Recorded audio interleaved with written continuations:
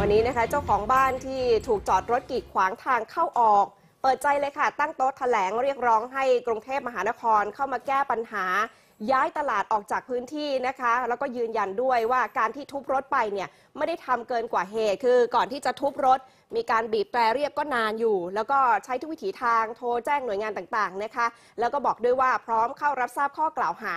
วันนี้ค่ะเจ้าของบ้านเนี่ยมีการเผชิญหน้ากับกลุ่มแม่ค้าด้วยมีปากเสียงกันเล็กน้อยนะคะ ติดตามจากรายงานของคุณจามอนกิจสวภาคค่ะคุณนะดูดูดูเฮ้ย นี่ เป็นคลิปเหตุการณ์เมื่อช่วงเช้าของวันอาทิตย์ที่ 18 กุมภาพันธ์ที่ผ่านมา บริเวณหน้าตลาดสวนหลวงร9โดยเจ้าของบ้านได้นำขวานออกมาทุบรถที่จอดกีดขวาง จนเป็นที่พูดถึงในโลกโซเชียล และวันนี้เจ้าของบ้านได้ตั้งโต๊ะแถลงข้อเท็จจริงตอนนี้นะครับผมยืนอยู่ที่บริเวณหน้าบ้านของหมู่บ้านเสรีวิลล่านะครับหลังที่เกิดเหตุปรากฏในคลิปครับมีเจ้าของบ้านนำขวานออกมาทุบรถนะครับที่มาจอดขวางหน้าบ้าน หลังเกิดเหตุนะครับเรามาสำรวจดูนะครับ ก็พบว่าที่บริเวณหน้าบ้านหลังนี้เนี่ยอันดับแรกเลยนะครับจะมีสลิงนะฮะมาพาดเอาไว้นะครับ เพื่อไม่ให้รถเนี่ยมาจอดในบริเวณนี้ รวมถึงที่ประตูรั้วเนี่ยนะครับก็จะมีป้ายต่างๆ ติดไว้ชัดเจนหนึ่งในนั้นก็คือป้ายเขียนไว้เลยนะครับ ว่าห้ามขนถ่ายสินค้ารวมถึงจอดรถกีดขวางประตูบ้าน แล้วก็มีคำสั่งของศาลอะไรต่างๆ นานา ติดอยู่ที่บริเวณนี้นะครับผมจะพาเดินไปดูนะครับที่ติดกันของบริเวณบ้านหลังนี้ครับคุณผู้ชมครับ จะเป็นตลาดนะฮะของสวนหลวงนะครับ ก็จะมีตลาดอาหารสด แล้วก็ตลาดผลไม้ขายเสื้อผ้าต่างๆ มากมาย ซึ่งตลาดที่บริเวณนี้นะครับจะเปิดทำการทุกวันนะฮะแต่เสาร์อาทิตย์เนี่ยจะมีคนเนี่ยพลุกพล่านเป็นพิเศษ ก็จะเปิดตั้งแต่เช้ามืดนะครับจนถึงเวลาประมาณ 11นาฬิกาก็เลยทำให้หมู่บ้านที่ตั้งอยู่ในบริเวณนี้นั้นกำลังได้รับความเดือดร้อนครับ เจ้าของบ้านทั้ง 3 คนได้กล่าวถึงความอัดอั้นตันใจที่ทนตลาดแห่งนี้มานาน 10 ปี พวกเธอยืนยันว่าในวันเกิดเหตุ ได้พยายามทำทุกวิถีทาง ทั้งโทรศัพท์แจ้ง 191 แจ้งจสร้อยให้ประสานติดตามรถคันที่จอดขวางหน้าบ้าน แต่ผ่านไปกว่า 30 นาทีก็ไม่เป็นผล จึงหมดความอดทน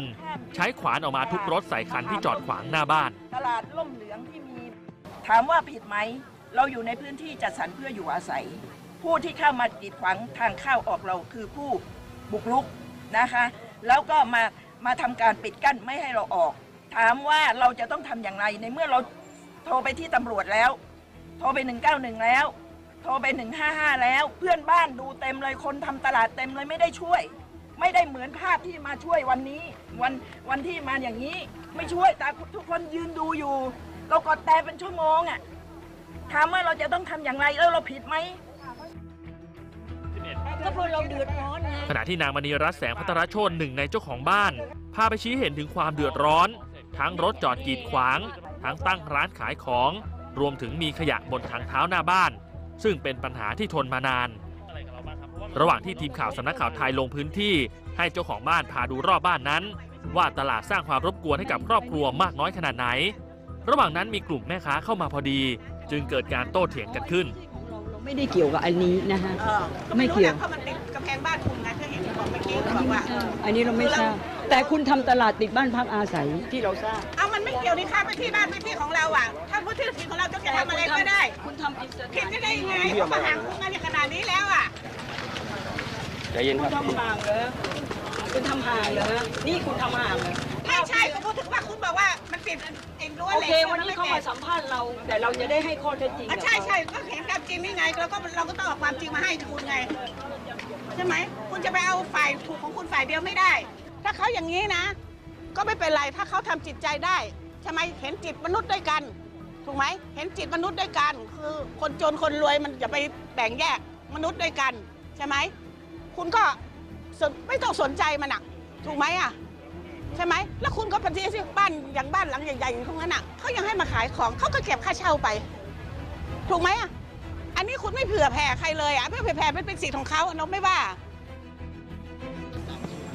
ส่วนประเด็นในโลกออนไลน์ที่ระบุว่าที่บ้านเคยมีคนเสียชีวิต เพราะออกจากบ้านไม่ได้นั้น เธอบอกว่าไม่เป็นความจริง แต่มีเพื่อนบ้านที่เคยล้มขาหัก ไปโรงพยาบาลไม่ได้ ต้องอยู่ในบ้านถึง 2 ชั่วโมง เพราะรถที่มาซื้อของในตลาดได้จอดกีดขวาง จึงอยากฝากให้ทางกรุงเทพมหานคร เข้ามาแก้ไข โดยยืนยันว่าทางออกเดียว คือต้องย้ายตลาดออกจากพื้นที่แห่งนี้ และคืนความสงบกลับมายังคนในหมู่บ้านทั้ง 293 ครัวเรือนจากบอลกิจสวภาคสำนักข่าวไทยอสมทรายงาน